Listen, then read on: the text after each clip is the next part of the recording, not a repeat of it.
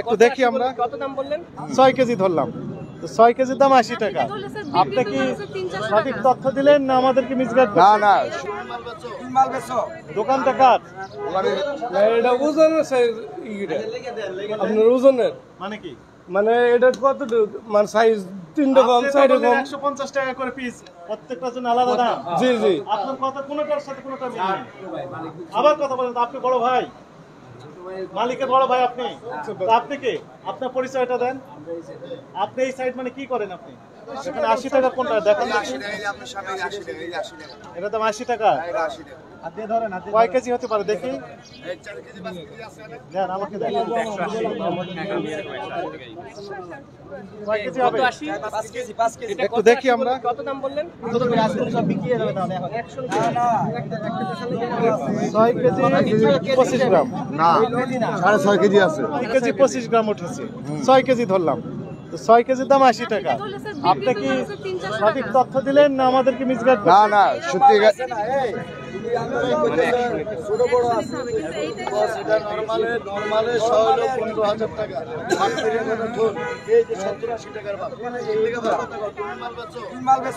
দোকানটা কার?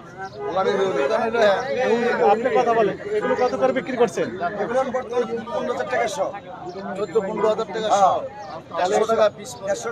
একশো পঞ্চাশ টাকা পিস পড়ে। আর এটা পরে দুই থেকে আচ্ছা ঠিক আছে।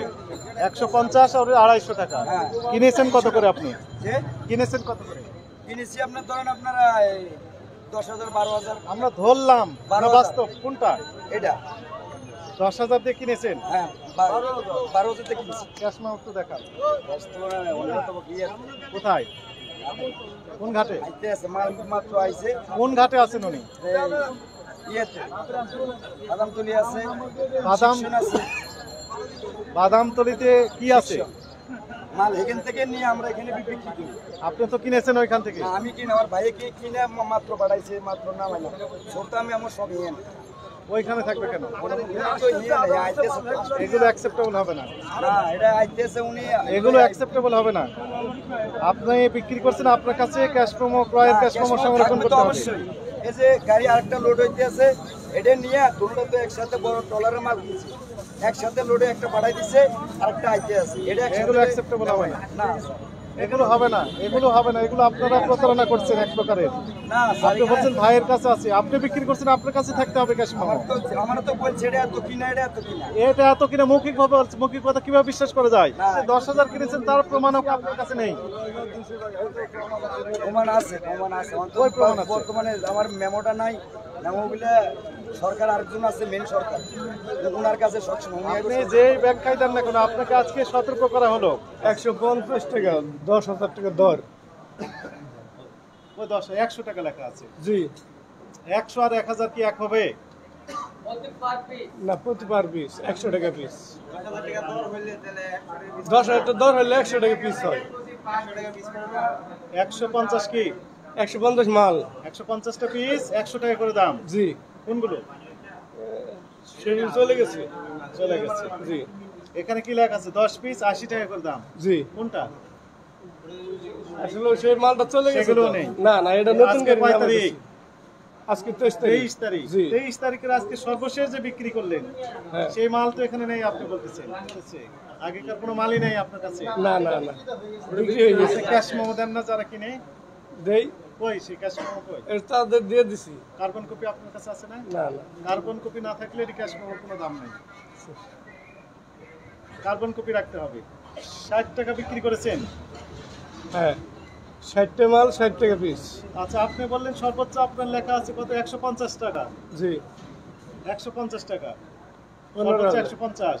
আবার তিরিশ হাজার টাকা দর আছে। এটা আরেক এখন আমাদের বক্তব্য স্পষ্ট। মূল্য তালিকা দেন। দেন জি এক্ষুনি মূল্য তালিকা দেন। আপনি যেটা বললেন একশো পঞ্চাশ টাকা সর্বোচ্চ আর নিচে আশি টাকা দেখলাম মূল্য তালিকা একটু দিয়ে দেন এখানে। কাগজে লিখে দেন আপাতত। সাদা কাগজে লিখে ঝুলিয়ে দেন। এটা ওজনের সাইজ আপনার ওজনের? মানে কি? মানে এটা কত মানে সাইজ টাকা করে পিস জি জি জি। সেটি লিখে দেন এটা ছোট বড় সাইজ ঠিক আছে। প্রত্যেকটার জন্য আলাদা দাম। জি জি। আপনার কথা কোনোটার সাথে কোনোটা মিল নেই। সমেন থামেন আমি বলি। আপ আমাকে বলতে দেন। এখানকার মালিকটা কি? আপনি না উনি?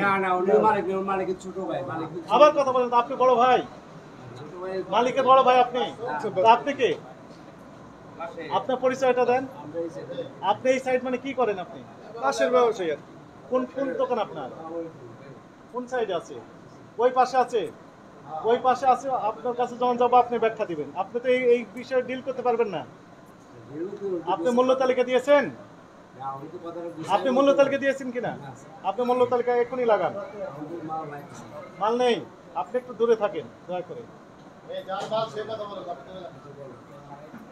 আপনি এতক্ষণ যে কথাগুলো বললেন একশো পঞ্চাশ টাকা আপনার সর্বোচ্চ দাম বিক্রি করেছেন। আর নিচে আশি টাকা করে আছে। তাই বললেন না? হ্যাঁ এটা সাইজের উপরে হ্যাঁ সাইজের উপর কম বেশি হচ্ছে।